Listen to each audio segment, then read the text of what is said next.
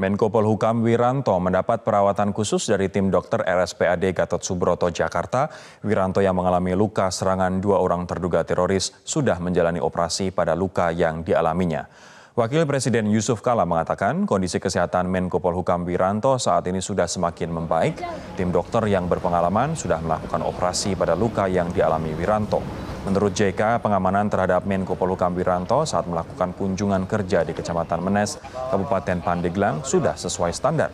Serangan terhadap Wiranto ini menurut JK di luar dugaan dan baru kali pertama ada serangan menggunakan senjata tajam langsung kepada pejabat negara.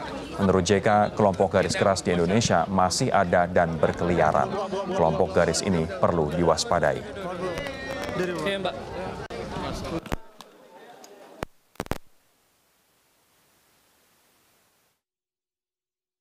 Dokter di sini sangat berpengalaman, sedang dioperasi, uh, sedang dioperasi untuk uh, insya Allah untuk penyembuhannya, prosesnya.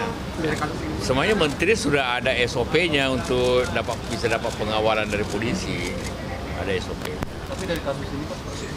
Ya tentu uh, tidak disangka gitu kan, karena ini pertama kali ini biasa pertama kali daripada orang yang mencederai pejabat dengan uh, tikaman. Artinya apakah akan ada evaluasi soal pengamanan? Yang jelas bahwa di Indonesia ini kelompok radikal yang sangat uh, uh, radikal itu masih ada dan itu berkelihatan.